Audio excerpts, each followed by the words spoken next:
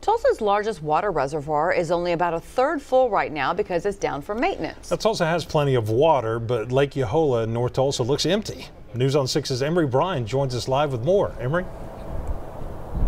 Well, the almost empty lake has attracted a lot of attention uh, from Highway 75, people driving by. And while it is almost empty, this is a routine maintenance operation. And though a lot of years will pass sometimes between times when they drain it for this kind of maintenance. Only part of the reservoir is empty. It's two of the three cells in the lake were totally drained. They've been working on the walls around the lake and on the piping for the drainage system. This lake, Lake Yahola, when full, holds 2 billion gallons of raw water piped here from the supply up at Lake uh, Spavinaw. It runs from the lake into the Mohawk Water Treatment Plant, and there it's treated and eventually goes out into homes in Tulsa. The work here started last fall. It was to be done in April, but it won't be done. So the work is going to stop, and the uh, reservoir will be refilled to meet summer demand. That really starts peaking about in May. Then the city will drain it again next winter for more work. Tulsa does have another reservoir, and that's where most of the water for Tulsa is coming from right now.